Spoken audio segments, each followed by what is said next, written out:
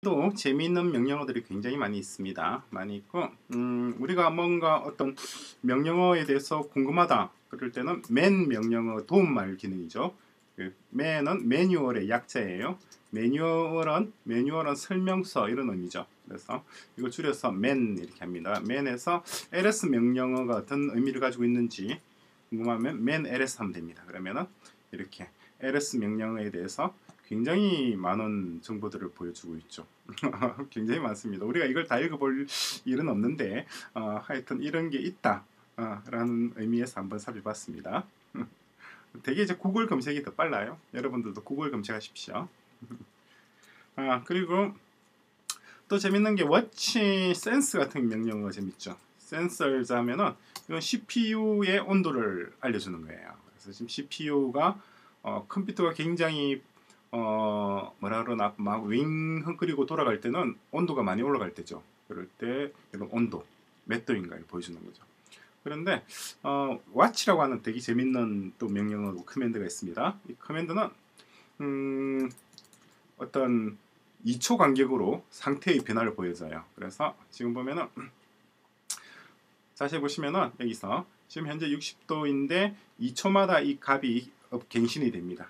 그래서 계속 바뀌고 있죠.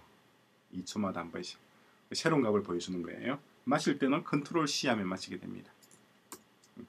이것을 좀 2초가 아니라 조금 더 빨리 하고 싶다. 그럼 옵션을 줄 수도 있습니다. 해서 N 주고 1초마다 한 번씩 보고 싶다. 그럼 1 해주고 센서에서 하면은 이제 1초마다 바뀌는 것들을 값들을 보여주게 되죠.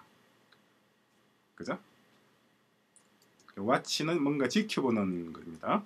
이게 또 다른 용도는 date는 지금의 어, 날짜와 어, 그리고 시간을 보여주죠. Friday August 그러면은 어, 지금 녹화하고 있는 시점이 2017년도 8월 4일 금요일이라는 거예요. 그리고 08시 34분 돼 있는데 이거는 좀 제가 어, 지역 설정을 안 했더니 이 좀 엉뚱한 지역의 날짜를 보여주고 있습니다. 아마 미국 쪽 날짜를 보여주고 있네요.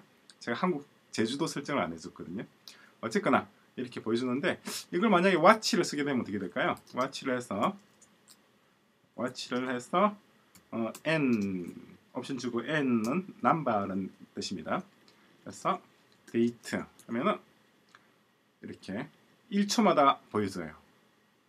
1초마다 보여주니까 결국 타이머, 시계가 되는 거죠. 전자시계. 그죠?